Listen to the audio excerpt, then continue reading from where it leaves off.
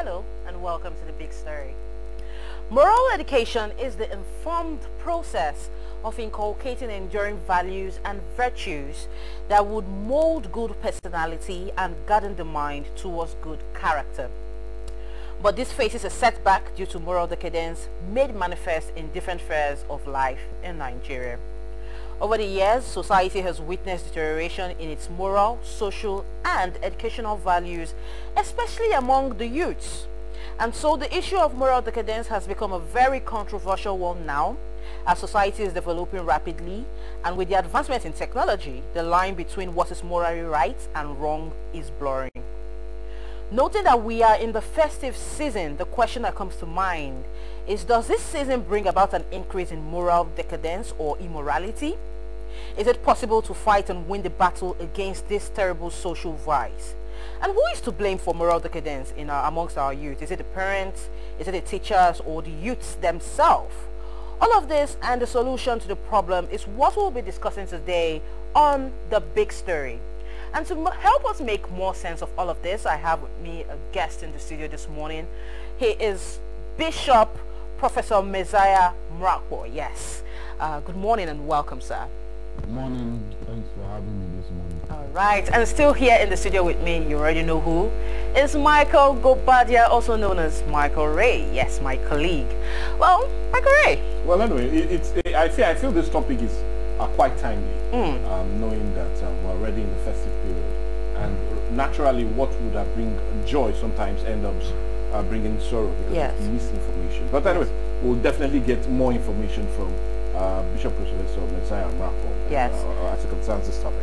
So yes, if you're just joining us here on The Big Story, today we're talking about the festive season and the high rate of immorality or also known as moral decadence.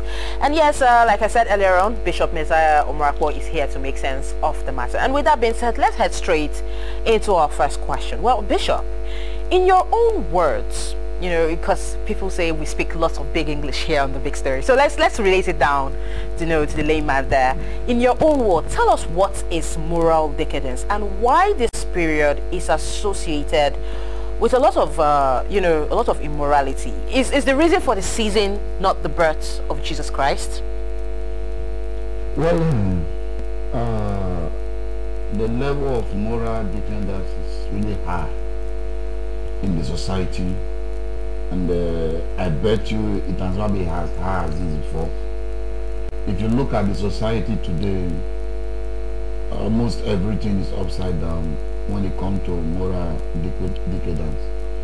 Uh, when we talk about moral decadence, we are talking about uh, uh, level of dressing, number one, uh, immoralities, fornications, adultery, and the rest uh, we are talking about uh, even attitude and character. Hmm. All those are part of moral morality. And when you look at it, we are still talking about personalities on these issues. But if you look at the society today, uh, we are lacking all these things. And it boils down to the level of uh, moral decadence. Hmm. And uh, you said uh, in this festive period, why is it high? It's becoming high because everybody wants to make money from it. Immorality is paying now. If you look at it, it's almost like uh, the most lucrative business in town. Immorality and uh, the level of moral decadence. Let me cite an example for you. If you drive around town today, let's take Google as a case study. You will discover that um, 97% of our boutiques, they don't sell normal clothes again. Hmm. That is to start with. You see uh, all manners of clothes. And then you, you that is normal or sane, uh, permit me to use that idiom, please. You that is normal or sane. Sometimes you drive out, you walk along, you begin to question, and person will wear this one. Uh, and a person go wear them, and you go see them for machine, or you go walk past you. And that is the truth. And uh, it's really painful. You go to the church today the church has become the worst. Permit me to say that even as a bishop. Because um, why is it like this uh, most of our religious uh, uh, preachers from the top to the bottom, uh, they focus more on prosperity now. Okay. So nobody cares about your moral value, moral ethics. Nobody cares about your life. And understand what I'm trying to say. And those outside there, they understand what I'm trying to say. Uh, the truth is that many ministers now, they don't care about the individuals. They care about what you can bring to the church or what you can bring to the table, rather. Uh, that is why you see that the level of moral decadence is really high in the society. You go to, everywhere you go to today, in the park, everywhere, you see it in the street, even close to your house, you see it. There's no way you can run away from, uh, from it. And uh, those level of dressing has really made the society to degenerate to that level because it's one of the number one factor, if I is the leading factor Mm. when it comes to moral decadence or mode of dressing. Okay, now let, let, let, let's let's return to what you said, and and, and you hinged the blame uh, basically on, on some churches, uh, but but let's look at the decay that has happened over the years.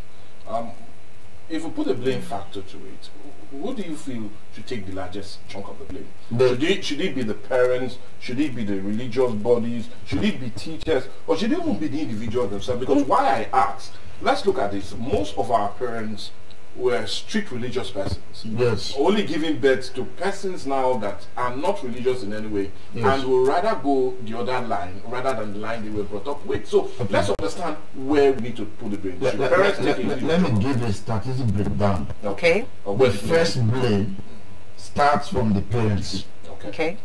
The second blame goes to the religion. Okay. The third one goes to the teacher.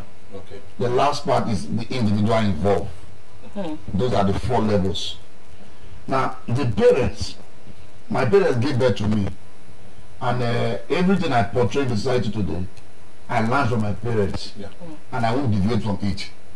Because I learned a lot from my parents, my, my father and my mother. Uh, let me take myself as a case study. When I was growing up as a child, I witnessed this, and that's what I'm doing to my, my kids also.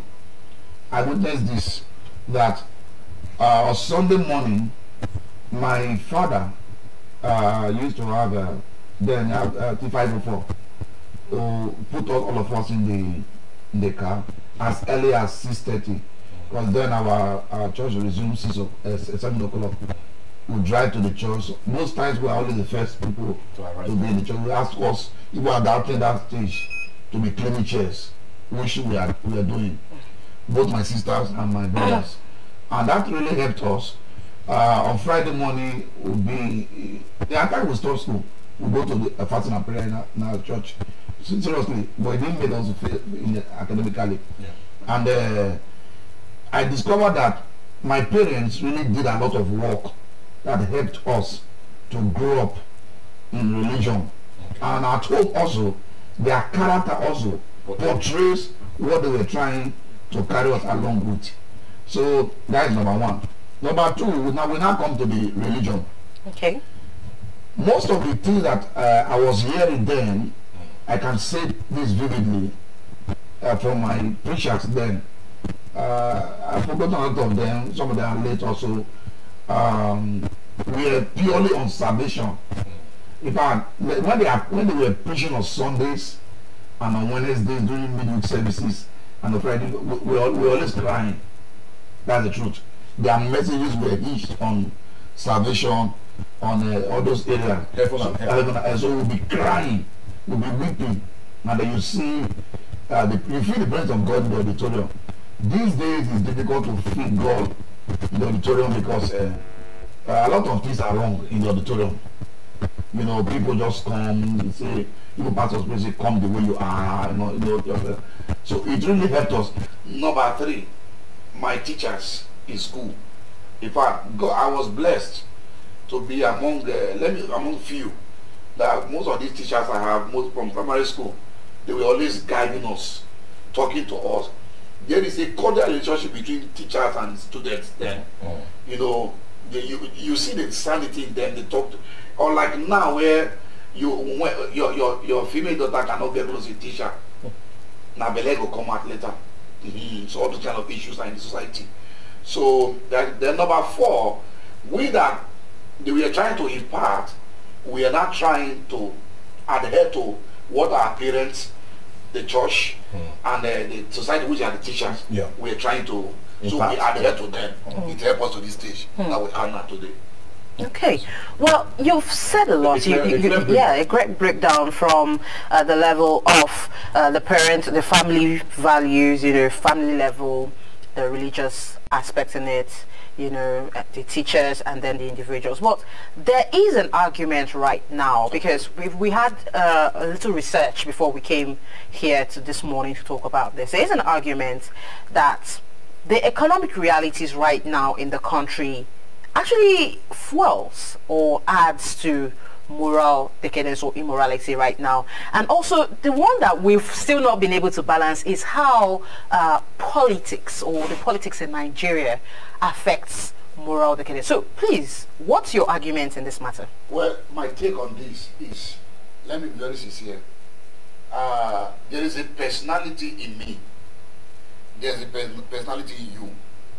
If you have a good personality and moral values, there is no way economic will break you down to do what you are not supposed to do. That's number one. Number two, there's no way politics will drag you into a life that naturally you wouldn't live. I've had a, lo- a lot of ladies say, uh, the reason why I'm into this is because my father died at a very tender stage. I lost my mother. Uh, so we say it's because of uh, where I find myself. Mm, mm, mm. It means you never had a life before. It- yes, if you had a life, nothing on earth will push you aside that life. We now, okay, let's let's start, let's look at the society now today.